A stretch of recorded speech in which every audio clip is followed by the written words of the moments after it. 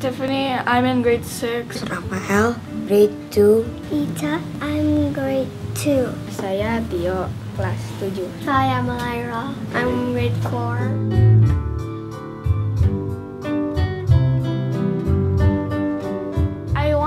Play guitar because my favorite artist plays guitar too. Awalnya saya cuma ikut-ikut teman aja, tapi eh taunya enak juga. It's fun every time I learn something new and I play a new song to my family. Because you can like bring it everywhere.